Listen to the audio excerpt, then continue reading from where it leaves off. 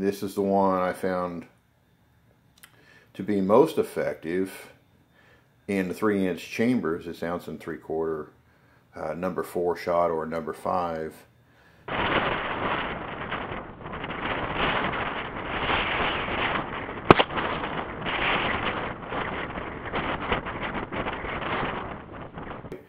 The Hevi-Shot and the Carlson uh, longbeard choke tubes uh, have wad strippers in them.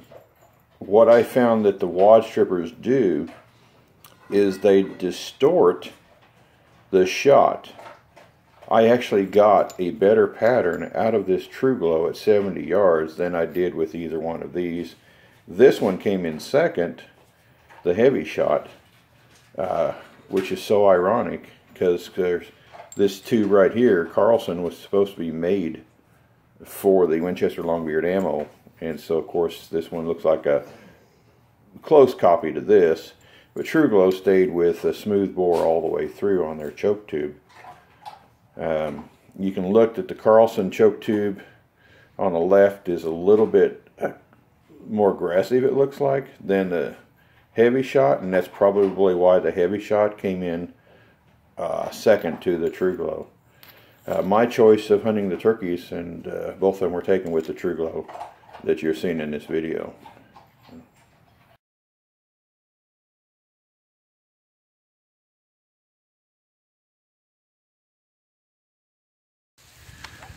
Use a Remington 870 Super Mag 3 inch number 2 shot fall season 2019, January 26th. Good end for a turkey season.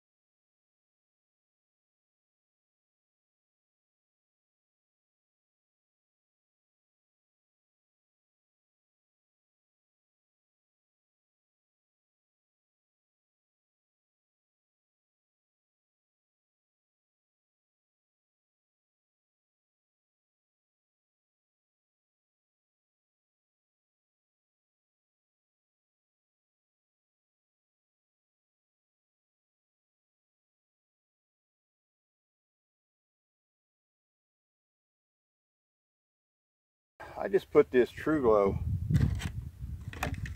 little TruGlo sight, attaches to the bead, to the to your rib right here. I just snapped it on a little plastic thing. I'm using the original uh, orange bead up there. I'm going to shoot this while I'm out here target practicing today and just see what that'll do for me at this distance. Uh, this is 70 yards. I'm shooting that turkey pattern. Man, would you look at that? Um, Primos Jellyhead out of that uh, Hatfield camo uh, 70 yards uh, ounce and three quarter number five shot Longbeard XR ammo uh, that's a really good pattern considering I just put that little uh, rear uh, glow sight on there just to kind of help out aiming. I could live with this pattern. That's incredible at 70 yards. Wow.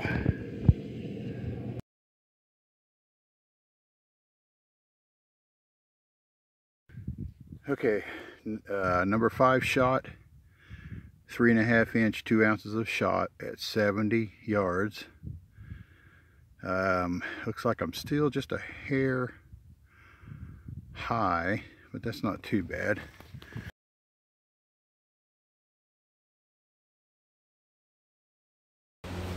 This is what I ended up with. It's not the greatest gobbler in the world.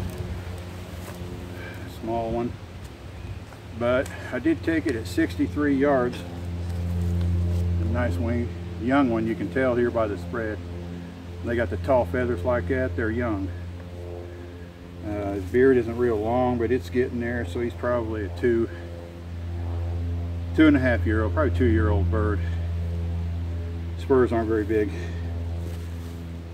870 TruGlo turkey tube I did use three and a half because I was trying to get a long shot. Um, this was at 63 yards.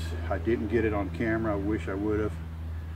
I had turned the camera off. I was actually leaving the area when I saw them right there in the field around the corner. And of course they stopped, stood there, and I saw him, took the shot, and uh, range finded it 63 yards.